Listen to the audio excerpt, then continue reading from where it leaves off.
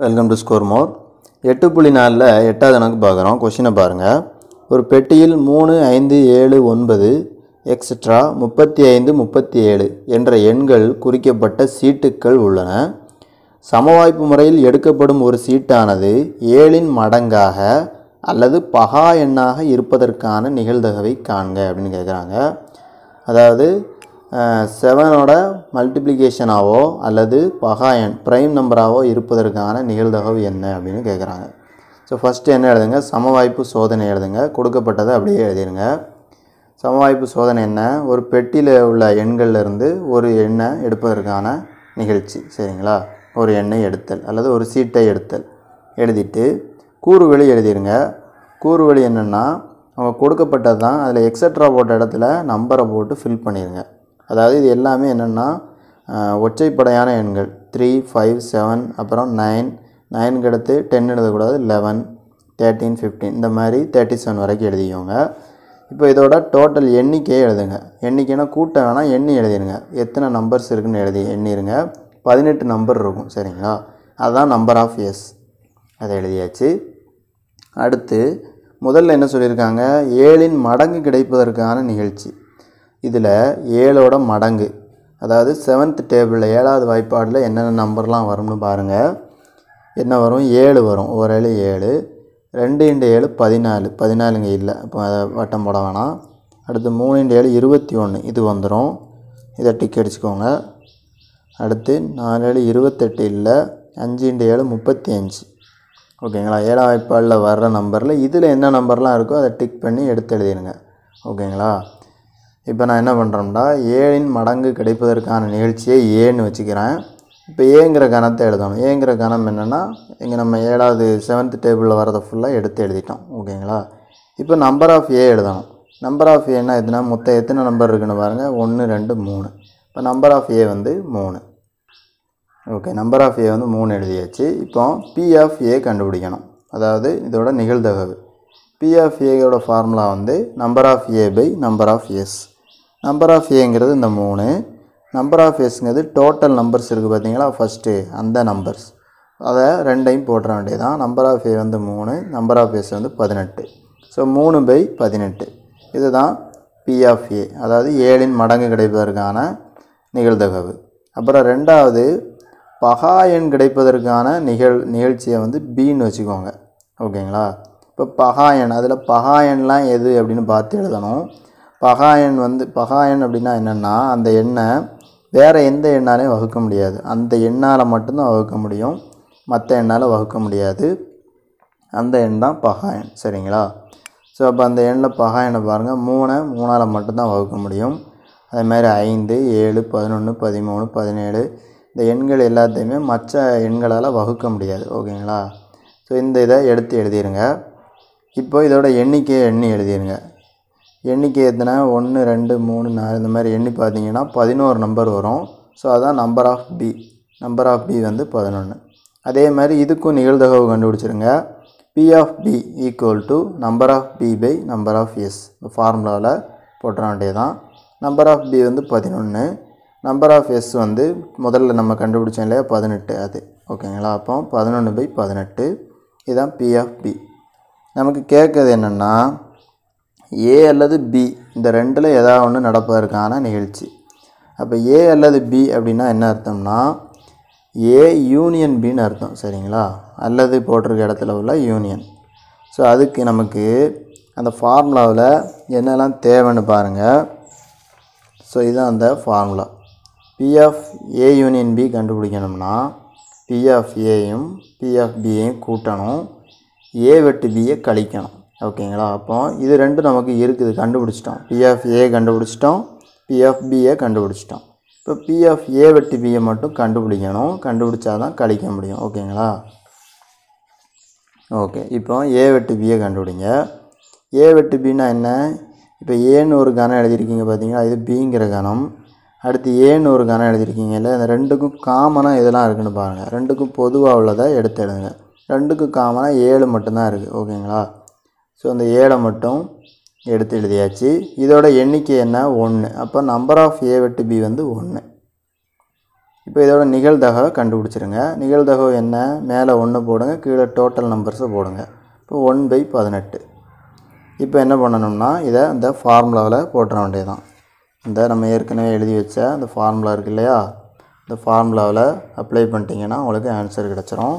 So அதை apply பண்ணி காமிக்கிறேன். ஓகே இப்போ இந்த ஃபார்முலாவில் அப்ளை பண்ணிடுங்க பிஎஃப் ஏக்கு பதிலாக த்ரீ பை பதினெட்டு. பிஎஃப் பிக்கு பதிலாக eleven by eighteen P of A வெட்டு பி ஒன் பை எயிட்டீன் ஓகேங்களா இப்போ பகுதி எல்லாமே ஈக்குவலாக இருக்குது அதை ஒன்றா போட்டுட்டு மேலே உள்ளதை கூட்ட வேண்டியதை கூட்டிடுங்க அதிலிருந்து கழிச்சிருங்க. ஸோ நான் பகுதி ஒரே பதினெட்டாக போட்டேன். மேலே மூணையும் பதினொன்றையும் கூட்டுங்க. பதினாலு வரும். அப்புறம் அதிலேருந்து ஒன்றை கழிச்சிருங்க. பதினாலு மைனஸ் ஒன்று பதிமூணு. So P of A wet A union B equal to பதிமூணு பை பதினெட்டு. இதுதான் இந்த சம்மோட ஆன்சர் தேங்க்யூ பார்க்குறோம். கொஷினை பாருங்கள் சீரான மூன்று நாணயங்கள் ஒருமுறை சுண்டப்படுகின்றன. அதிகபட்சம் இரண்டு பூக்கள் அல்லது குறைந்தபட்சம் இரண்டு தலைகள் கிடைப்பதற்கான நிகழ்தகவை காண்க அப்படின்னு கேட்குறாங்க ஃபஸ்ட்டு பாருங்கள் மூன்று நாணயங்கள் சுண்டப்பட்டுச்சுன்னா கூறுவெளி எழுதுறதுக்கான மெத்தடை வந்து நம்ம ஃபஸ்ட்டு எட்டு புள்ளி ஒன்றுலேயே பார்த்துருக்கோம். ஸோ அதுக்கான லிங்க்கை கூட நான் வந்து டிஸ்கிரிப்ஷனில் கொடுக்குறேன். இப்போ முதல்ல சமவாய்ப்பு சோதனையை எழுதிக்கோங்க. சமவாய்ப்பு சோதனைனா என்ன? அதில் கொடுத்துருக்கதை எழுதிக்கோங்க. மூன்று நாணயங்கள் ஒரு முறை சுண்டப்படுகிறது. அப்புறமா கூறுவெளி எழுதணும். எஸ் கூறுவெளினா என்னென்ன மாதிரிலாம் கிடைக்கும்? மூன்று நாணயங்களை சுண்டும்போது. முதல் ஒருவேளை மூன்று நாணயங்களையும் தலை விழலாம். அல்லது இரண்டில் தலையும் ஒன்றில் பூவும் விழலாம். இந்த மாதிரியான காம்பினேஷனை எழுதிக்கோங்க. ஸோ ஃபஸ்ட்டு பயிற்சியில் இதுக்கான எக்ஸ்ப்ளனேஷனாக சொல்லியிருக்கேன். ஸோ அதை பார்த்துக்கோங்க.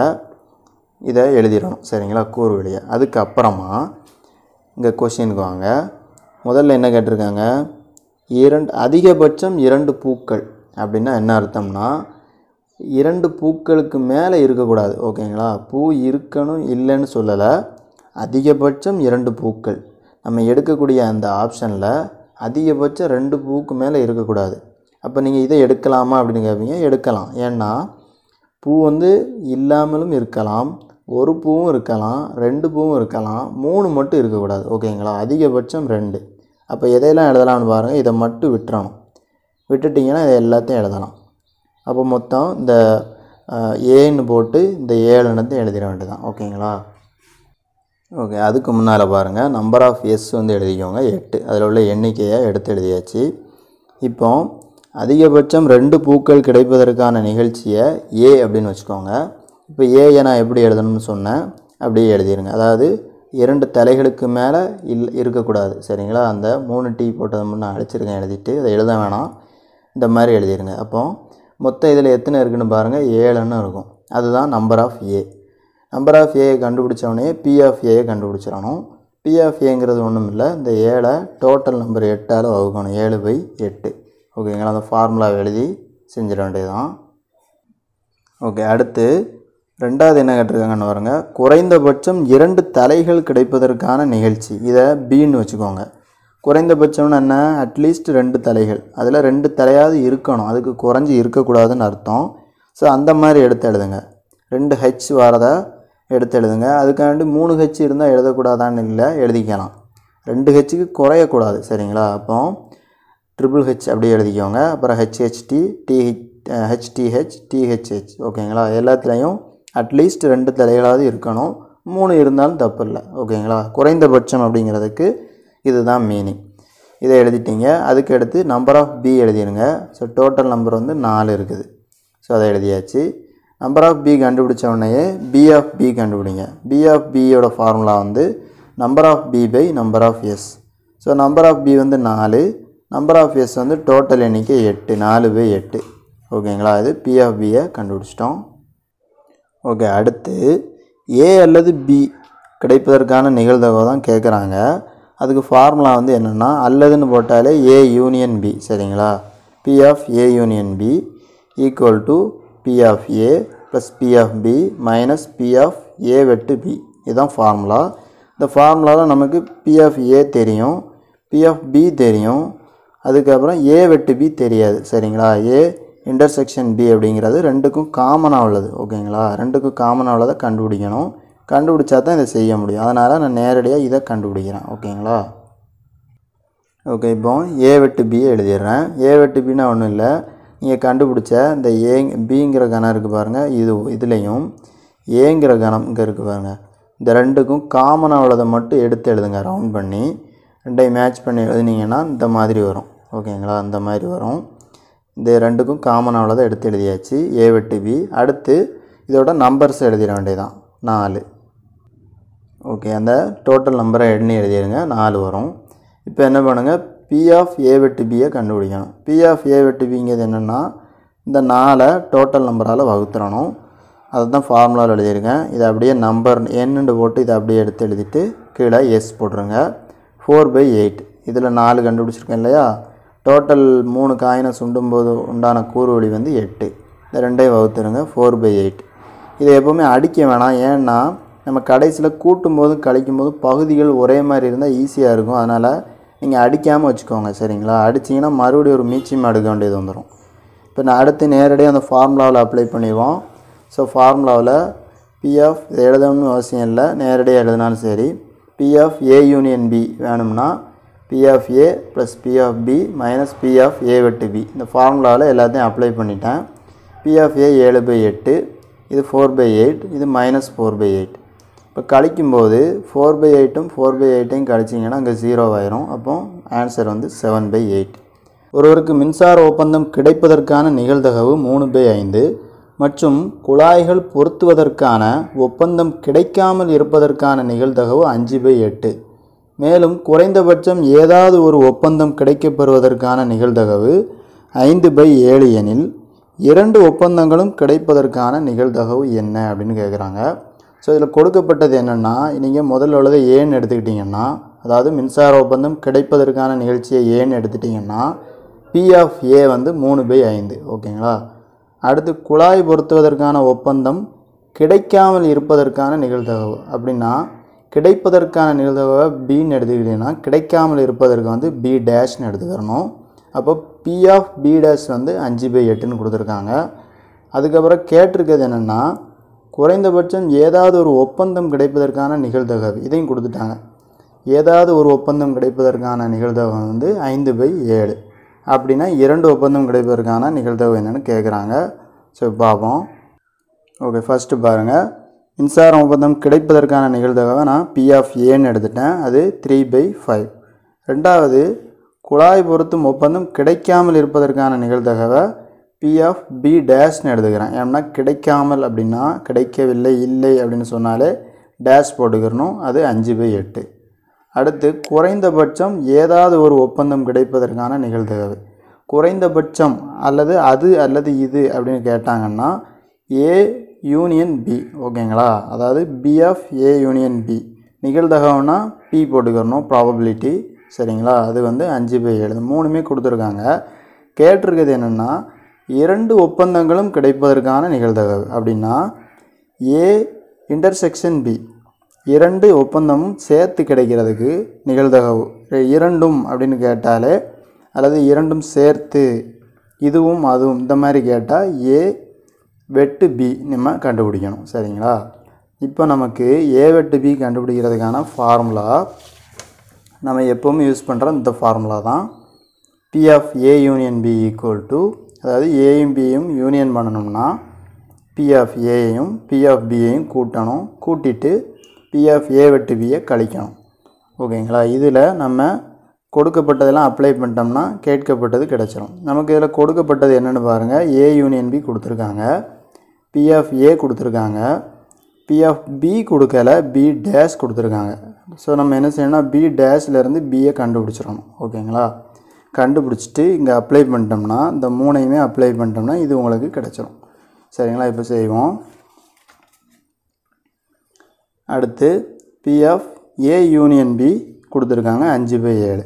இப்போ நம்ம என்ன பண்ணுவோம்? ஃபார்முலாவில் போட்டுருவோம் அந்த ஃபார்முலாவில் ஸோ ஃபார்முலா வந்து என்னென்னா ஸோ ஃபார்முலா மாற்றி அமைச்சிருக்கிறேன். நம்ம அப்படி செய்யணும்னு கூட தேவையில்லை. அப்படியே அப்ளை பண்ணிடலாம்.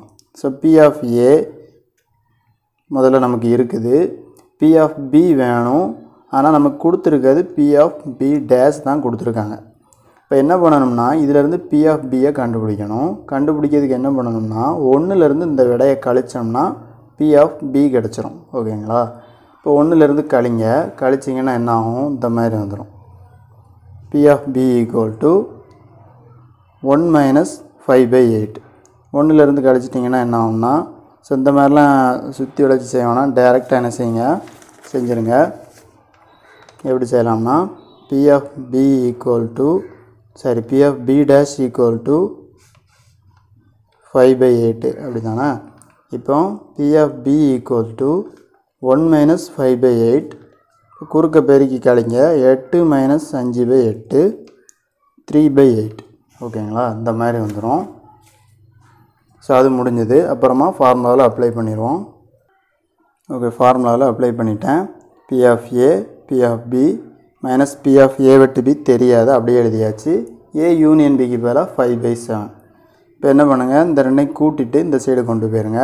கூட்டுறதுக்கு பகுதி வந்து ஈக்குவலாக இல்லை. அப்போ எட்டுக்கும் அஞ்சுக்கும் நீங்கள் மீச்சிமா எடுக்கணும்.